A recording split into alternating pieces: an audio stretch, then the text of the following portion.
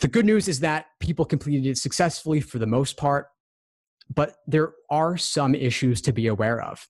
First off, not all of the proctors knew the rules. Most importantly, the rules regarding scratch paper. So, of course, on the flex, just like the regular in person LSAT, you are allowed scratch paper. For the digital LSAT in person, you got a booklet of 12 to 14 pages.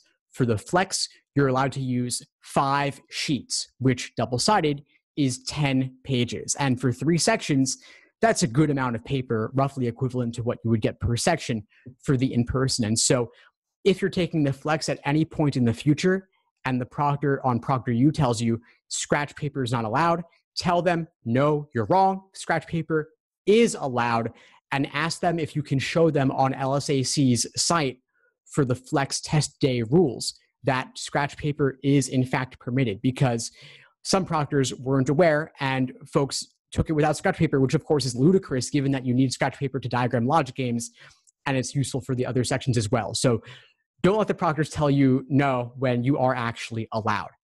Thanks for tuning into the show. Please subscribe if you haven't done so already to be notified of new episodes as I release them. And feel free to reach out if you need anything at all as you move forward with your prep. I'm happy to help however I can. In the meantime, I wish you all the best and take care.